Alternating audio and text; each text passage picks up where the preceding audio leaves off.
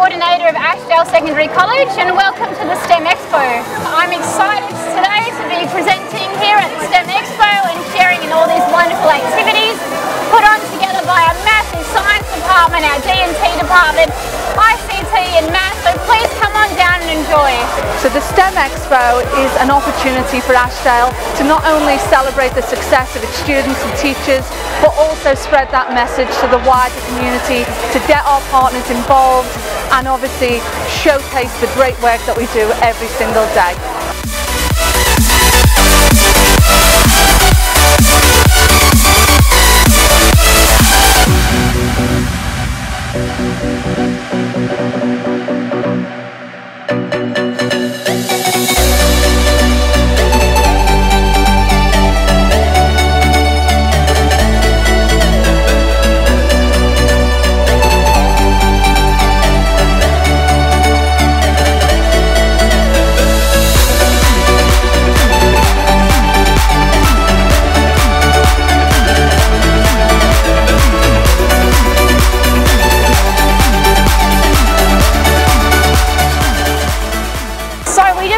Our STEM Institute this year and we have this amazing team of teachers and students doing science, technology, engineering and maths.